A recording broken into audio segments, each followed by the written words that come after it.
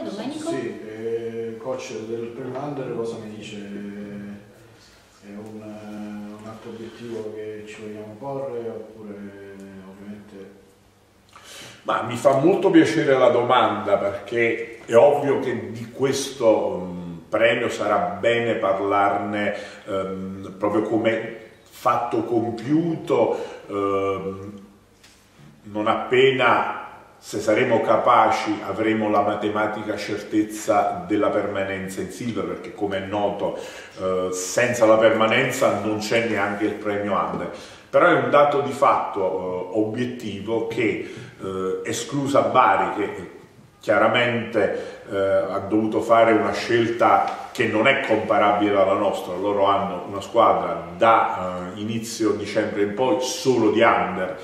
ma sta anche ovviamente eh, rimediando una sconfitta ampia dopo l'altra. Eh, noi siamo la compagine che sicuramente eh, in tutti i calcoli possibili e immaginabili, anche escludendo i minuti di Bari o includendoli, considerando Lucca in un modo o in un altro modo, in tutte le possibili combinazioni matematiche, noi siamo quella compagine che ha più di tutti utilizzato gli under. Eh, direi che questo sia un risultato per tanti versi, non so se eh, ricordi quando parlavamo qualche settimana fa di coloro che consumano i giocatori e di coloro che invece lavorano a produrre dei giocatori. Uh, il termine è orripilante, produrre sembra una catena di montaggio tayloriano, insomma, che mal si concilia con il fatto che i giocatori siano persone innanzitutto però sicuramente dare delle grandi possibilità di crescita ai giocatori è un qualcosa che da luglio il progetto tecnico, recependo delle indicazioni del presidente Muscolino, si è posto come obiettivi.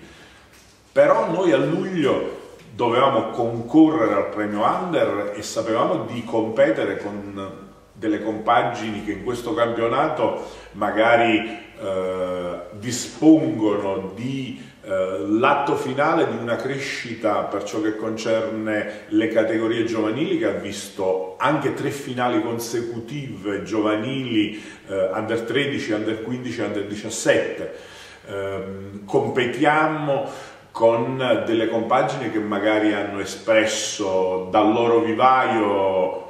una stella NBA, un giocatore nazionale, tanti giocatori in Lega La Viola sicuramente approcciava questa stagione sulla scorta di una tradizione straordinaria, il lavoro che è stato fatto qui eh, negli anni eh, 80-90 da eh, allenatori di grandissima qualità tecnica eh, che si chiamano eh, Gaetano Gebbia, che si chiamano Gianni Tripodi, che si chiamano Giovanni Benedetto, che si chiamano Massimo Bianchi, Ecco, mm, ne dimentico sicuramente tanti altri, hanno prodotto dei giocatori anche in quel caso ad altissimi livelli europei e non solo,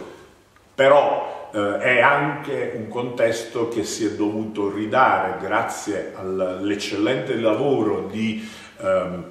Pasquale Iracà della scuola basket eh, Viola, una eh, ridefinizione di progetto pochi anni fa e purtroppo non arrivavamo a questa stagione con eh, un recente mh, eh, passato di finali nazionali e di giocatori espressione ai massimi livelli. Quindi il fatto che noi con, potessimo competere nella logica dell'organico che eh, avevamo messo su, che noi potessimo addirittura essere la primissima, ecco, è enormemente al di sopra delle prospettive estive, insomma c'era qualche persona, e non parliamo di eh, diciamo semplici tifosi, osservatori eh, esterni, parliamo di eh, agenti, persone che sanno come funzionano queste cose, ecco, eh, ci davano come scontato che noi potessimo competere dalla terza o dalla quarta piazza in giù,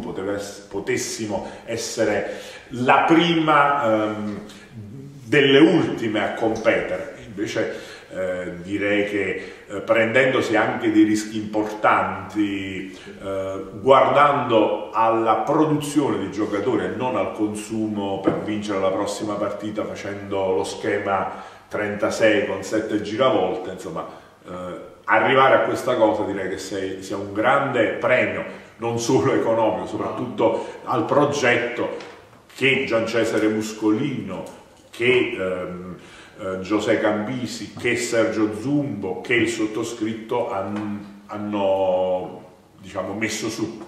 Quindi potrà essere anche motivo di rilancio del settore giovanile che già c'è. Ma lo è, lo è assolutamente, è chiaro che l'attività giovanile non può viaggiare sull'immediatezza, c'è bisogno di tempo, però mh, direi che eh, la convocazione di Jon Lupusor eh, in autunno al raduno under 18 direi anche eh, guardando non all'immediato di questa stagione ma al recente passato la bella ehm, affermazione come eh, MVP eh, under in DNC di Antonio Smorto dimostrano assolutamente quanto bene eh, lo staff eh, della Viola in ambito giovanile eh, abbia già fatto. Ecco, eh, direi che più che essere un'occasione di rilancio è uno sprone ehm, anche per, per l'attività giovanile a ehm, intendere perfettamente che questa è la strada giusta.